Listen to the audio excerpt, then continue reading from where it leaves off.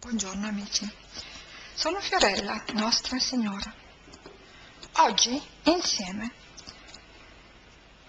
portiamo maggior chiarimenti sul testo del terzo segreto di Fatima. Guardate come in cima al testo inizia con la spiegazione di Nostra Signora, una signora che ha contatto con il trono di Dio. Questa luce, una luce che è Dio. Un angelo con una spada infuocata che sembrava volesse incendiare il mondo, ma a contatto con Nostra Signora tutto si placava. Ebbene sì, cerco di spiegarvelo in tutti i modi. Il perché tutto si è ridotto in una società assai marcia. L'indifferenza, la perdizione, l'inganno, la menzogna.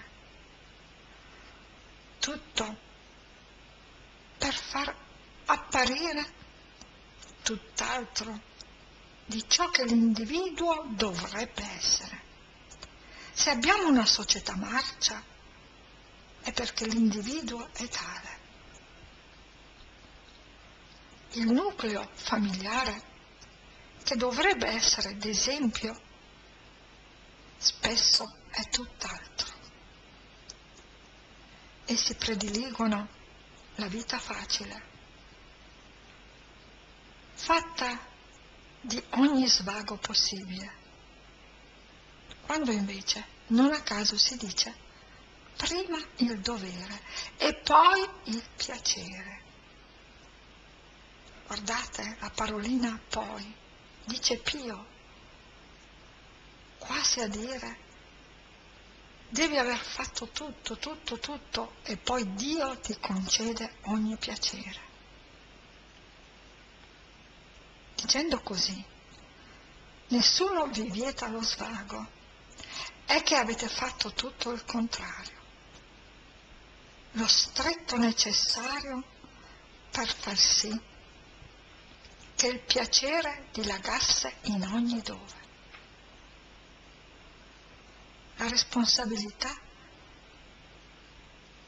che dovrebbe far parte prima di tutto dell'individuo, l'impegno, la serietà, l'onestà tutto è andato dimenticato, tutto ha preso il sopravvento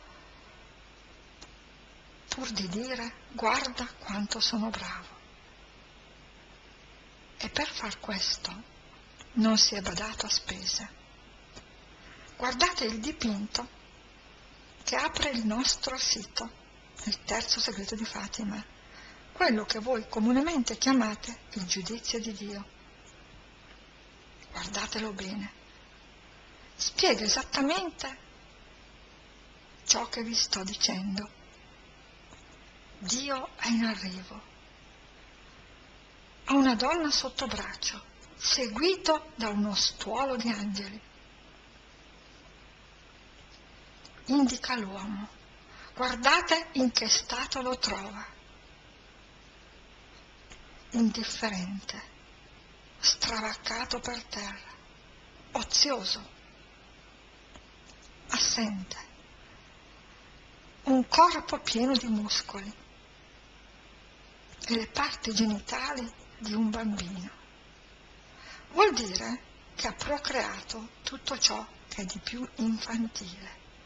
Ha fatto di tutto e di più per apparire bello, ma il cervello è rimasto quello di un ragazzino che ama soprattutto la spensieratezza, quando invece la vita è un grande dono e come tale va preso e speso con grande responsabilità, con grande serietà.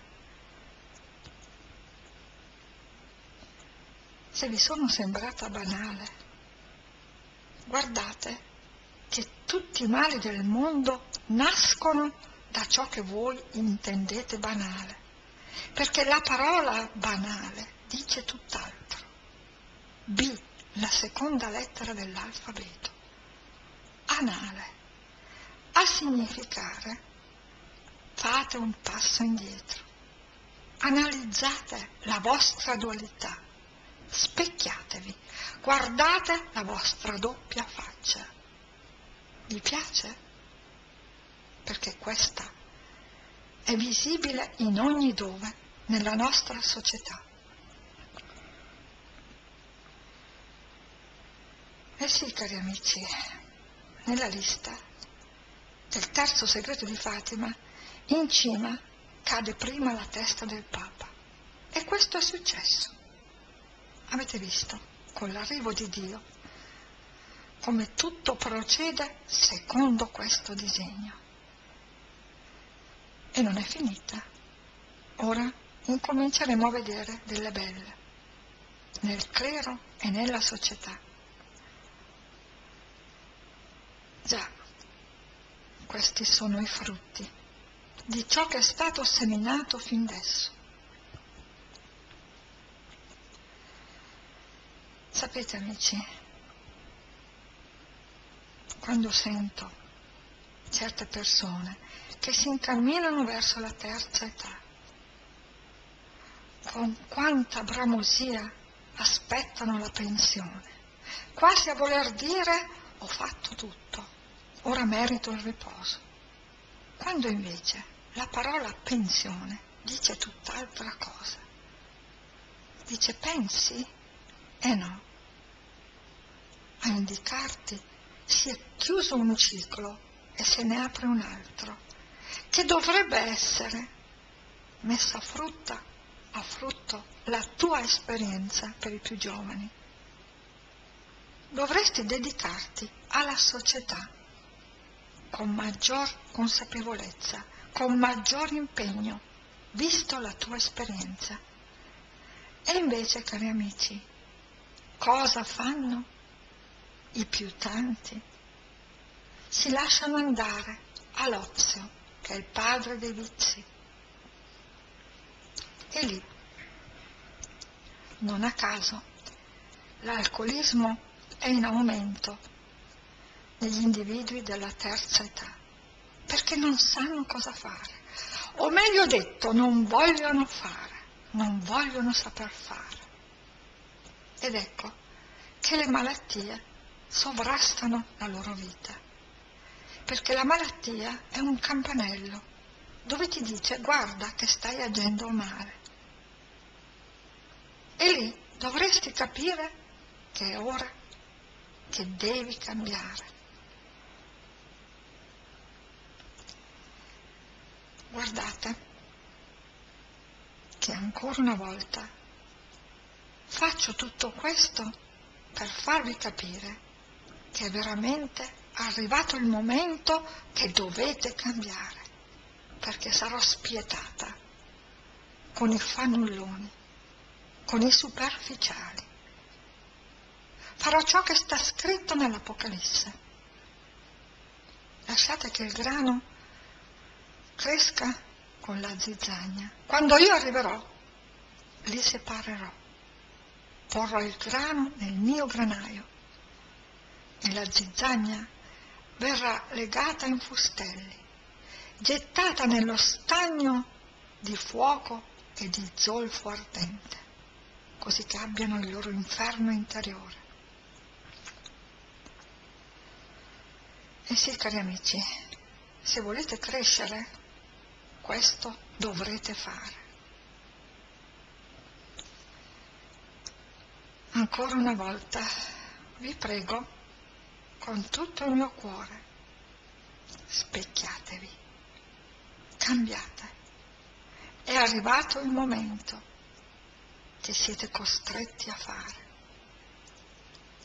E ancora una volta vi dico, se vi sono sembrata banale, la parola banale dice appunto tutt'altro, come l'ho già spiegato. Molti si meravigliano. Là dove io apro la parola e dai contrari traggo il vero significato. Sì, questo lo faceva Leonardo da Vinci. Scrivendo al contrario si specchiava. Ecco, nel gioco dei, dei contrari troverete la vostra verità o la verità in assoluto.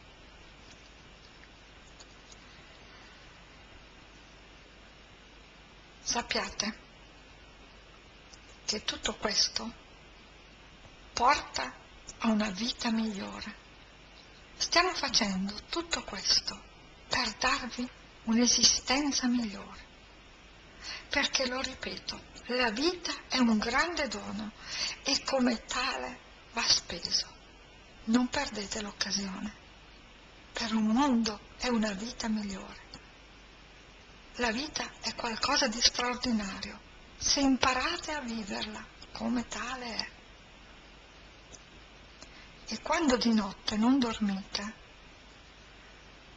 lasciate stare i farmaci. Non sono quelli che vi danno sonni tranquilli, ma la coscienza è nemica della notte, di coloro che non amano la giustizia. La coscienza li richiama. Ecco, detto ciò, ancora una volta il mio augurio per voi. Specchiatevi, cambiate. Fate questo per voi e per tutti i vostri cari.